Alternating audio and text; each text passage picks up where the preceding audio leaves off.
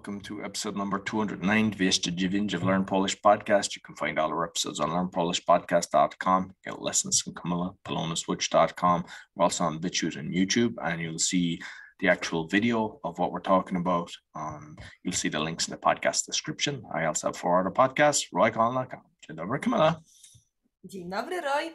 Witam Ciebie bardzo serdecznie i witamy wszystkich, razem witamy wszystkich naszych słuchaczy. Mamy nadzieję, że macie dobry dzień i jesteście gotowi na kolejną lekcję. Jesteś, Roy, gotowy? I jestem. Zaczynamy. Ok, dzisiaj będziemy rozmawiać o poczcie. Co to jest poczta? Znacie to słowo? Post. Poczta? Post office? Teraz może to nie jest najbardziej popularne miejsce, poczta, post office, ale myślę, że większość ludzi dalej korzysta z poczty. Jest też poczta elektroniczna, czyli e-mail, tak? czyli poczta tradycyjna, kiedy musimy iść na pocztę, e, albo jest też poczta właśnie elektroniczna, czyli e-mail. Dobrze, czyli co mówimy na poczcie? Taki jest dzisiejszy temat. I mamy pierwsze pytanie. Gdzie jest najbliższa skrzynka pocztowa? Na pewno pamiętasz, jak byłeś małym chłopcem, to ta skrzynka pocztowa była czerwona, prawda? Irlandia było zielone, ale Wielka Brytania wiem, to ej, też Czerwona, teraz jest prawda? czerwone, tak, ale W Irlandia Polsce też zielone. była zielona w Irlandii, czerwona w Polsce, skrzynka pocztowa. Czy ty teraz, Roy, wrzucasz listy do skrzynki pocztowej, Chyba nigdy tutaj. żeby wysłać? Zawsze do-? E, what you call it? Post office?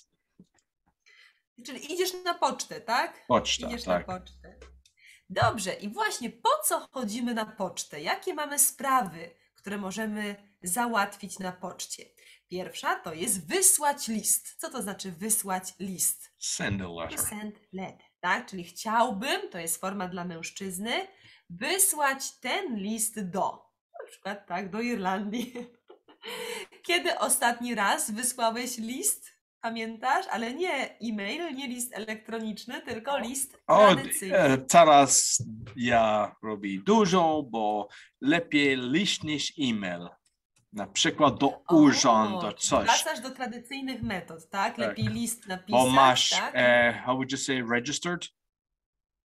Polecony, tak? To jest list Polecony. polecony, Bo to masz jest dokument. czasami jest bardzo ważne, kiedy jest polecenie. Aha, bo e-mail może na przykład pójść do spamu, tak? tak, wtedy i Masz jest, pewności. Mhm. I don't know how you can say it, you've more rights when you're writing a letter. I masz więcej praw. Yeah. Prawa, that's right. Dobrze, czyli idziemy na pocztę, żeby wysłać list. Drugie, chciałabym, teraz to jest format dla kobiety, wysłać ten list, list priorytetem, czyli będzie szybciej, albo pocztą lotniczą. E, ile kosztuje list albo paczka? Co to znaczy, Roy, paczka? List, już wiemy, co How to much jest, does it cost for a letter or a parcel? Lubisz dostawać paczki od rodziców z Irlandii? O, oczywiście. Najlepszy czas, tak paczka z Irlandii. Ale żeby wysłać list, to musimy coś kupić. Musimy kupić znaczek na list. Co to jest znaczek? Stamp? Stamp, tak? Stamp. Ile kosztuje znaczek w Polsce? Chyba 5 zł. 5 złotych? Dobrze. Ale nie tylko znaczek, również musimy kupić kopertę, czyli poproszę znaczek na list i poproszę kopertę albo kopertę Envelope. bąbelkową. E, Envelope, dobrze. E, nie tylko wysyłamy listy You've na got poczcie, ale też, ale też idziemy, żeby nadać paczkę. Nadać paczkę, czyli to send. Tak, parcel. Nadać paczkę. I także odebrać przesyłkę. Właśnie kiedy ktoś wysyła nam jakiś prezent, jakąś paczkę, musimy odebrać przesyłkę. I na końcu możemy na poczcie również zapłacić rachunek. Czyli jeszcze raz, co robimy na poczcie? Możemy wysłać list, kupić znaczek, kupić kopertę, możemy nadać paczkę i możemy odebrać przesyłkę. Jesteś gotowy na dialog ze mną? Ale przed, e, bo tutaj Polska ma e, Mhm. poczt, the, the post box, you know, the metal boxes, I forget what the name, I don't know what you call it. You know where you go pocztowa, skrzynka pocztowa? to Metalover, you can go, they have the system in Poland.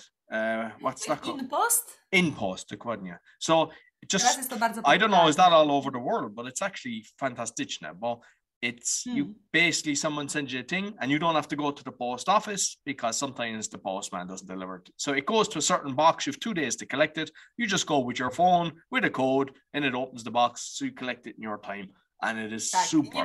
Bo czasami tak, może być pół godziny na tak, post, post office, tak? Na poczcie. Właśnie. Dużo czasu. Jesteś gotowy na dialog? Jestem. Dobrze, dzień dobry. Cześć. Are Czym you, mogę are you supposed to be the, shop, the assistant? Ja Yeah. pracuję na poczcie, ty jesteś klientem, masz tutaj do wyboru różne sprawy, które możesz załatwić. E, W czym mogę pomóc? Dzień dobry, pani.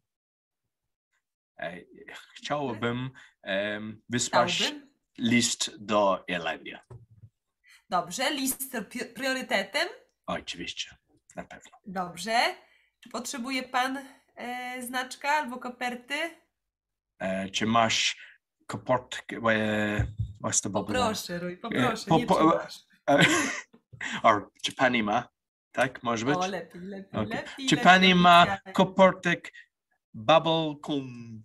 cum? Bąbelkową? Oczywiście, mamy kopertę bąbelkową i znaczek, tak? E, tak, znaczek. Coś jeszcze? E, nie, dziękuję. E, e, czy ja mogę płacić na kartę kredytową? Oczywiście może pan płacić kartą kredytową. Proszę bardzo. Myślę, Roy, że dzisiaj możesz spokojnie po południu jechać na pocztę. Jesteś już teraz bezpieczny i możesz załatwić jakieś sprawy. No i mam nadzieję, że dla Was też to było pomocne. Możecie iść na pocztę i praktykować Wasz język polski. Dziękujemy Wam bardzo za spotkanie i do następnego razu.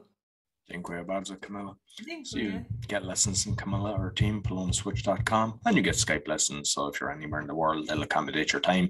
And we're also on BitChute and YouTube. You'll find the links in the podcast description, and you'll find all our episodes on learnpolishpodcast.com. If it was too difficult for you, go back to the start and you build your vocabulary. Until next week, dziękuję bardzo i do widzenia. Do widzenia.